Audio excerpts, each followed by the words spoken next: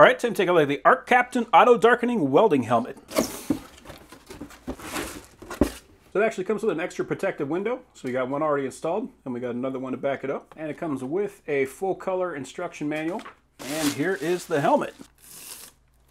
Oh, that is nice. So we have a super clean window right there, and we also have the solar charger at the top. On the right side, we have a sensitivity dial.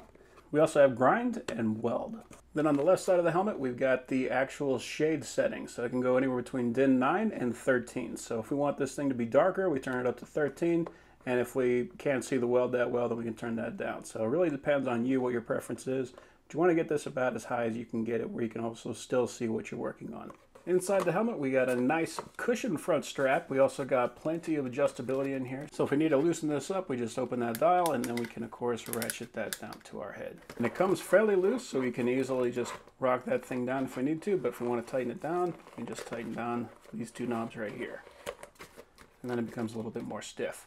Now it's also good because if we ever want to change out this strap, like maybe we want to put on a different strap, we can just loosen this up and these will just come all the way out. We can take this strap off and put in another strap. On the top, we have another adjustment. So if this isn't quite at eye level, we can adjust that. And we have another adjustment right here. So these little slots, we can use that to adjust the angle that it's gonna stop at. So right now it's about in the middle.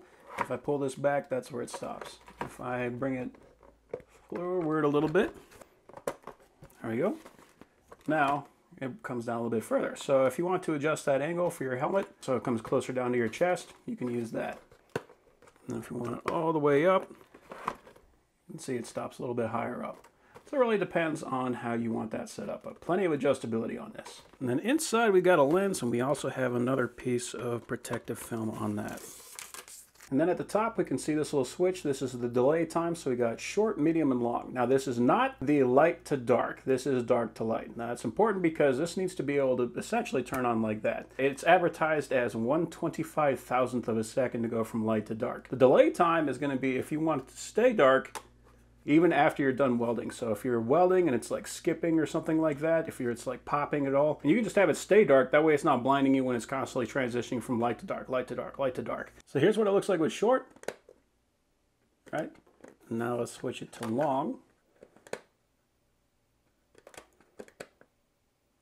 Right? So a small adjustment, but it can make a big difference. So one thing I do really like to see right here is that there are these clips right here. So that is for attaching a cheater lens. So what that means is if you want to add some magnification to this so you can see easier, you can actually do that with this helmet.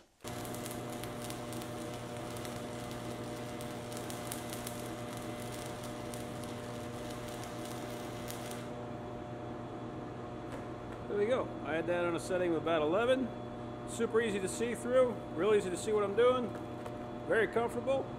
It's a very nice helmet.